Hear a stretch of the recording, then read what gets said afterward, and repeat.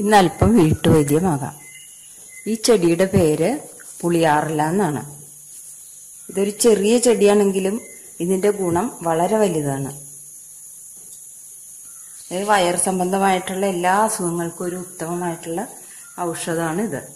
ഇതെങ്ങനെയാണ് ഉപയോഗിക്കേണ്ടതെന്ന് വെച്ചാൽ മോരിൽ കാച്ചി കഴിക്കുകയാണ് ചെയ്യുന്നത്. വയറുവേദന വയറിളക്കം അല്ലെങ്കിൽ വയറുകടി എന്നൊക്കെ പറയുന്ന എല്ലാത്തിനും നല്ല മരുന്നാണിത്.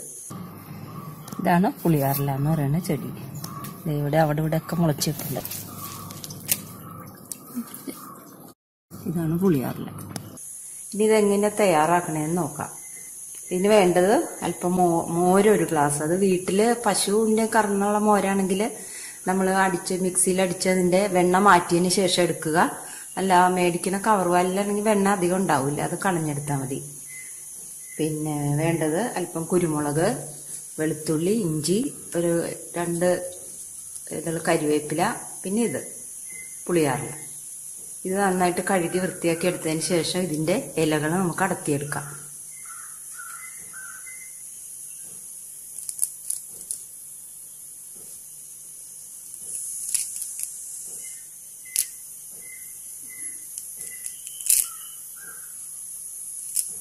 ആദ്യം ഇതെല്ലാം കൂടി ഇഞ്ചി വെളുത്തുള്ളി കുരുമുളക് ഇതെല്ലാം കൂടി നമുക്കൊരു മിക്സിയിൽ ചതച്ചെടുക്കാം.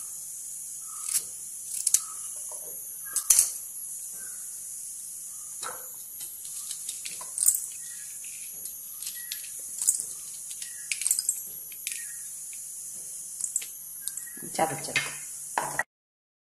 ഇഞ്ചിയും വെളുത്തുള്ളിയും കുരുമുളകും ചതച്ചു. അതിലേക്ക് മോരൊഴിക്കുക. അതിലേക്ക് പുളിയാറില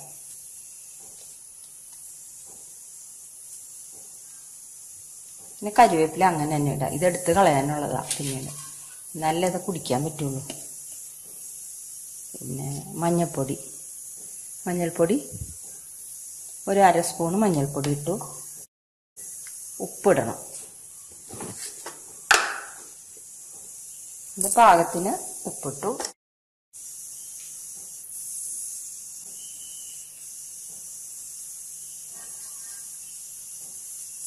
ഇനി നമുക്കിത് അടുപ്പത്തേക്ക് വെച്ച് പതുക്കെ ഇളക്കി തിളയ്ക്കാൻ പാടില്ല.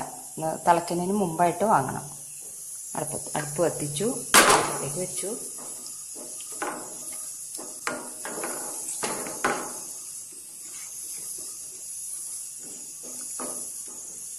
ഇലകൾക്കൊരു കറുപ്പ് കളർ വരും. പുളിയാറിലയുടെ ഇല. ആ സമയത്ത് ഇത് ഓഫ് ചെയ്യണം. ഓഫ് ചെയ്തിട്ട് കുറച്ചു നേരം അടച്ചു വെച്ചിട്ട് ഈ കരിവേപ്പിലയും കളഞ്ഞിട്ട് ഇത് നമുക്ക് ഉള്ളിച്ചെല്ലണം. ഈ ഇലകളെല്ലാം ഉള്ളിച്ചെല്ലണം. അത് കുടിക്കാനൊന്നും ബുദ്ധിമുട്ടൊന്നുമില്ല. തളന്നൊരിലയല്ലേ ഇത്? ചെറിയ ചെറിയ ഇലകൾ അതാ ചെറുതായിട്ട് കറുത്തു തുടങ്ങി. പെട്ടെന്ന് റെഡിയാവും.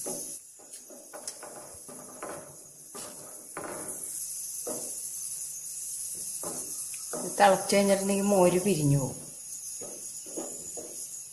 അതിനു മുമ്പ് വാങ്ങണം.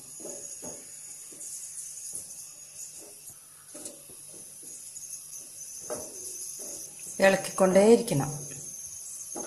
അല്ലെങ്കിൽ ഒരു സൈഡ് തിളച്ചത് പിരിയും റെഡി ആവാറായി ഇതിപ്പോൾ റെഡി ആയിട്ടുണ്ട്. ഇനി ഇത് ചൂടാറി കഴിഞ്ഞിട്ട് ഈ കരിവേപ്പില എടുത്ത് മാറ്റുക. ഇത്ര നേരം കൂടി കിടക്കട്ടെ കരിവേപ്പില അതിൽ എന്നിട്ട് ഇത് കുടിച്ചാൽ മതി. വയറിന്റെ അസുഖങ്ങൾക്കൊക്കെ നല്ലതാണ്.